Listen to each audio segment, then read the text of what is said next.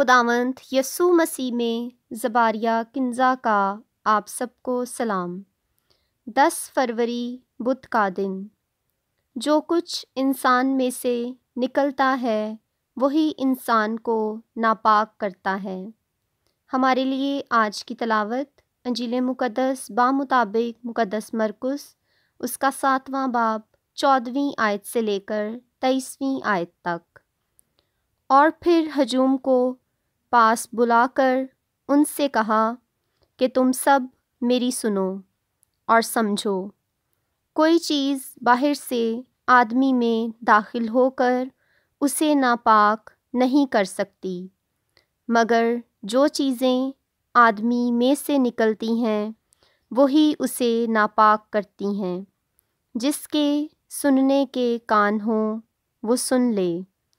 और जब वो हजूम के पास से घर में गया तो उसके शागिर्दों ने उससे उस तमसील की बाबत पूछा और उसने उनसे कहा, क्या तुम भी ऐसे बेसमझ हो? क्या तुम नहीं समझते कि कोई चीज़ जो बाहर से आदमी के अंदर जाती है, उसे नापाक नहीं कर सकती? इसलिए कि वो उसके दिल में नहीं, बल्कि पेट में जाती है। और जाए ज़रूर में निकल जाती है। यूँ सब खाने की चीज़ें पाक ठहरा कर उसने फिर कहा, जो कुछ इंसान में से निकलता है, वही इंसान को नापाक करता है। क्योंकि अंदर से, यानी इंसान के दिल से, बुरे इरादे निकलते हैं। यानी हरामकारियाँ, चोरियाँ, खून रेजियाँ जनाकारियाँ, लालच, बदियाँ, मकर, शहवत परस्ती बद नज़री कुफर गोई नखुवत, हमाकत, ये सब अंदरूनी बुराइयाँ निकल कर इंसान को नापाक करती हैं। पाक इंजील के वसीले से हम सब की ख़ताएँ मुआफ़ की जाएँ। ए मसीह तेरी सताइश हो। आमीन। बाप और बेटे और रूहुल कुद्स के नाम में आमीन। मसीह में आप सब की सलामती। अज़ीज़ समाइन, खुशपुर, पाकिस्तान से एरिक सिल्वेस्टर, आज की तलावतों पर ध्यान ज्ञान के साथ आपकी खिदमत में हाजिर है।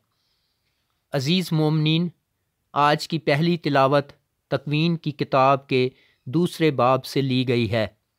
ये बाब तख्लीक की तारीख़ का ज़मीमा है। और तारीख़ के इस हिस्सा की तोसी व तशरी पेश करता है, जिसका फौरी ताल्लुक़ इंसान के साथ है। यहाँ पौधों और जड़ी बूटियों के उगने और बढ़ने का मज़ीद बयान है, क्योंकि वो इंसान की खुराक होने के लिए पैदा किए गए और मुकर किए गए थे। ज़मीन ने फल खुद ब खुद पैदा नहीं किए, बल्कि सिर्फ़ खुदा की कुदरत के वसीला से पैदा किए। बारिश भी खुदा की कुदरत से बरसती है। इंसान ज़मीन की मट्टी से बनाया गया। ये इंसान को बनाने के लिए कैसी नामुमकिन सी चीज़ थी? हम मट्टी से बनाए गए हैं तो हम किस बात पर फ़ख्र करें? बनाने वाला अजीम है, और उसने हर चीज़ उम्दा पैदा की है। उसने इंसान को अशरफुलमखलूक़ात बनाया और अपना दम फूंका।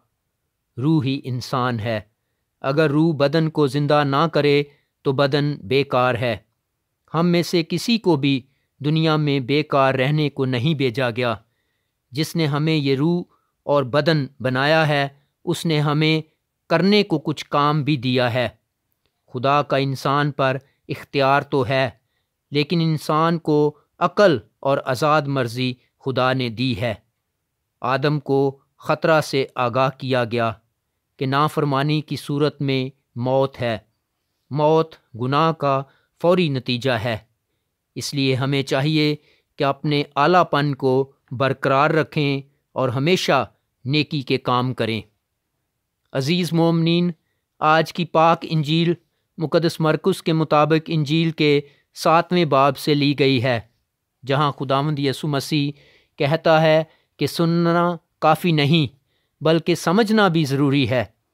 खुदावंद यसु मसीह उनकी गलती की असलाह करता है कि खाना हमें नापाक नहीं करता, क्योंकि वो बाहर से इंसान के अंदर दाखिल होता और ख़ारिज हो जाता है, बल्कि हमारे अंदर दिलों में पैदा होने वाला बगाड़ और ख़राबी हमें नापाक करते हैं।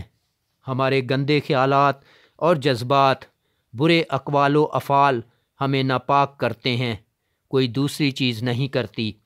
इसलिए हमें फ़िक्र करनी चाहिए कि अपने दिलों की बदी को धोएँ। यसु मसीह ने लोगों को जो तालीम दी थी, वो अलीदगी में अपने शागिर्दों को भी समझाई। उसने ये सच्चाई खोल कर बयान की ताकि वो समझ जाएँ और ईमान लाएँ। इंसान का दिल उसकी ख्वाहिशात का मरकज़ है। ये अच्छे भी हो सकते हैं और बुरे भी।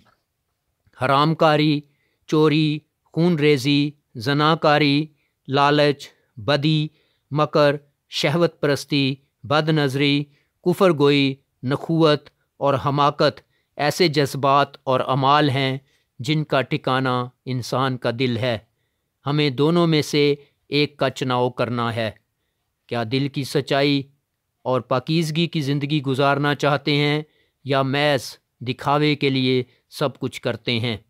खुदा सच्चाई है और वो चाहता है कि हम भी पाक हो जाएँ। अज़ीज़ मोमिन आएँ। आज खुदा से दुआ करें कि वो हमें ये फ़ज़ल बख्शे कि हम नेकी और पाकिजगी की ज़िंदगी बसर करें और हमेशा नेकी के काम करने के लिए हर वक्त तैयार रहें और बदी से बचने की कोशिश करें। मसीह खुदावंत के वसीले से आमीन।